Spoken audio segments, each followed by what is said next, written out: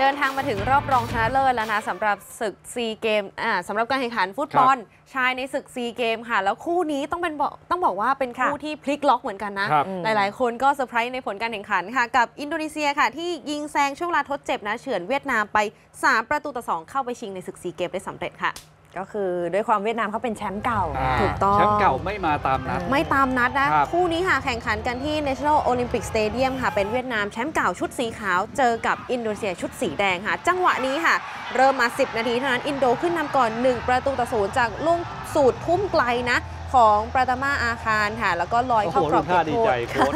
เป็นโคคารมังวะเทเลยกุครับนะ เออโอ้โหที่นี่มงทุ่มหรือเข้าไปเตะมุมครับเนี่ย นี่ทุ่มแรงมากแล้วน้ำหนักดีมากนะคะ ทีมไทยต้องดูนะใช่ ดูไว้เลยนะต้องป้องกันให้ดีนะ โคมังเทกุก็มาอยู่ถูกที่ถูกเวลาพอดีค่ะ จากนั้นนาทีที่ 36 ค่ะ เวียดนามมาได้ประตูนี้ตีเสมอค่ะ จากเหงียนวันตุงนะคะ ที่โหม่งเข้าไปทำให้ทีมตีเสมอได้ 1 ประตูต่อ1สำเร็จค่ะ เป็นบอลจากแถว 2 เปิดเข้ามานะ ก็พอดิบพอดีค่ะ จากนั้นค่ะครึ่งหลัง อันนี้ดูภาพช้าก่อน ลูกหนึ่งหนึ่งครับมงสวยด้วย เออ จากนั้นครึ่งหลังนาทีที่ 53 ค่ะ เป็นลูกสูตรทุ่มไกลของอินโดอีกแล้ว โอ้โห ลูกนี้บอลเนี่ยลอยโด่งเข้ามาถึงประตูเวียดนามนะคะ แต่ว่าบอลเข้าทางของมูฮัมหมัดเฟอร์รารี่ค่ะ ยิงสวนตู้มเข้าไปทีเดียวเมื่อสักครู่ แล้วก็เป็นอินโดค่ะที่ขึ้นนำอีกครั้ง 2 ประตูคือต่ลูอกหยินึ่งงเมื่ค่ะอไหร่ฮะ คนทุ่มนี่แขนก็ทำด้วยอะไรครับค่ะไปเล่นวอลเล่ดีกว่าไหมคะโอ้น้ำโหหนักดีขนาดนี้ เออ แล้วก็สามารถทำให้เพื่อนทำประตูเองได้สำเร็จนะคะ จากนั้นค่ะนาทีที่ 60 ค่ะเป็นอินโดที่มาเหลือ 10 คนค่ะ เพราะว่าปาตามาอาคารค่ะเข้าไปอ่าด้านหลังผู้เล่นเวียดนามนะผู้ตัดสินก็เลยแจกใบเหลืองที่ 2 ค่ะ เจ้าตัวมีใบเหลืองติดมาแล้ว 1 ใบตอนแรก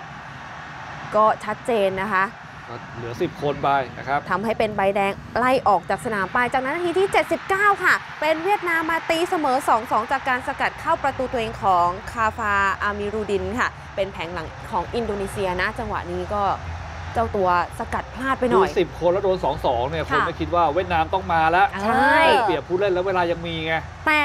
สิ่งที่หลายคนไม่คาดคิดก็เกิดขึ้นค่ะครับ10 คนของอินโดมาทำเซอร์ไพรส์ได้จังหวะนี้ค่ะ เป็นช่วงทดเจ็บนะคะ แล้วก็เป็นการทำอ่าลูกยิงหักนอกของนอกกรอบของทาฟานี่ค่ะ เป็นประตูชัยไป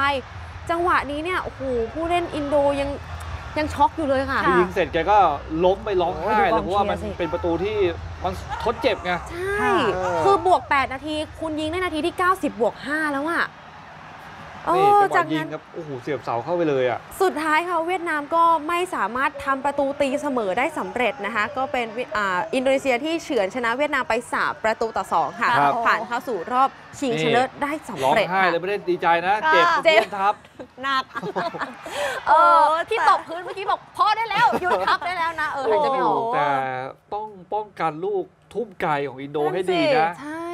แล้วน่ากลัวอีกอย่างหนึ่งอย่างที่เราเห็นแล้วว่าเขาเล่นด้วยพละกำลังที่ครับสุดยอดจริง ๆ นะคะสำหรับใช่อินโดแล้วก็ใช้โอกาสได้ไม่เปลืองด้วยอืมค่ะอันนี้ก็น่าสนใจตรงที่ว่าทีมไทยต้องดูก่อนครับนะคะเพื่อที่เดี๋ยวต้องเจอกันในรอบชิงชนะเลิศแล้วใช่